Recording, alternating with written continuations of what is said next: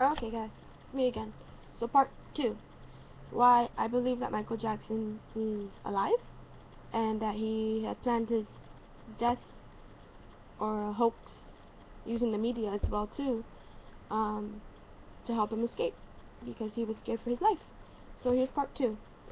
Sorry that um, cause I'm kind of new at this YouTube thing, so I'm kind of using my iPad um as a part of it so you guys can see it because I don't know how to upload like video other people's videos to show you guys but I just put it together for you okay?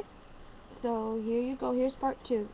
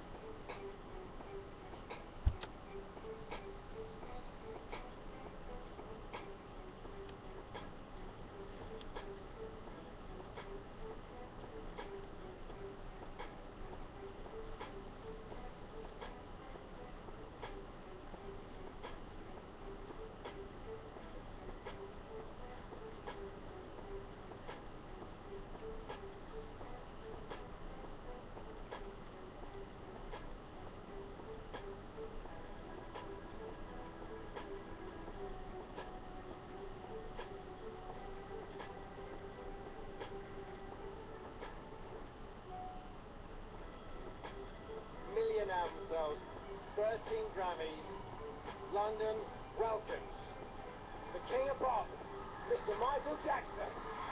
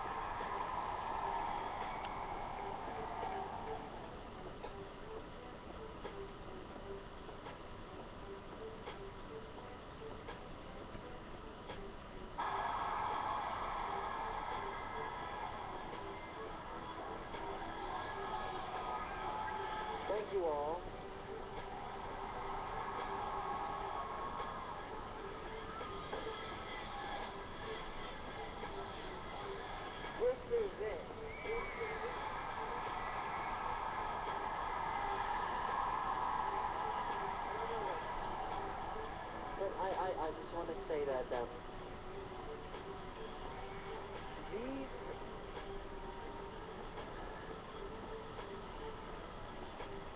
these will be my final show performances in London. This will be it. This is it. And when I say this is it, it really means this is it. Because um,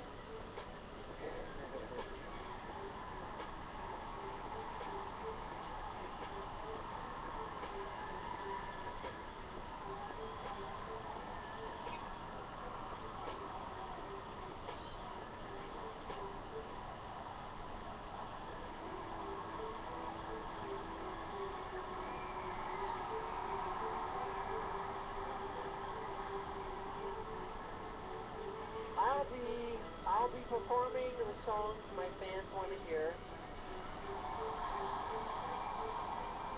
This is it. I mean, this is really it. This is the final. This is the final curtain call. Okay, and um, I'll see you in July.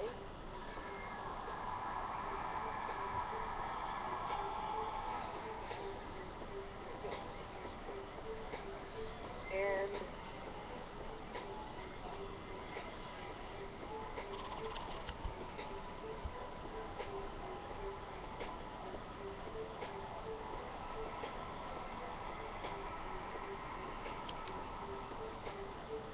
I love you. I really do. You have to know that. I love you so much. Really. From the bottom of my heart. This is it. See you in July.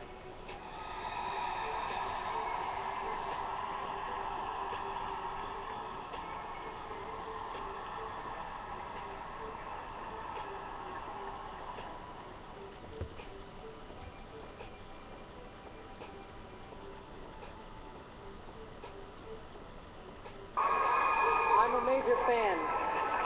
Phenomenal. I mean it.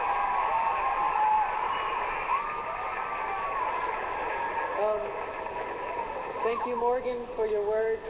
Thank you, VH1. Thank you for this honor. And thank you. Thank you, all my friends and fans, for your love and support. You've given me so much.